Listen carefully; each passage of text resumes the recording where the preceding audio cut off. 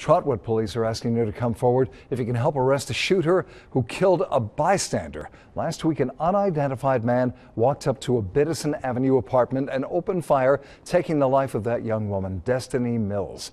Police believe the gunman meant to shoot someone else. They have a few persons of interest, but we still need assistance and help from the public. It is our belief that there are other witnesses still out there who have not yet come forward. As is so often the case, you can remain anonymous. Just give your tip to police by calling 222 STOP.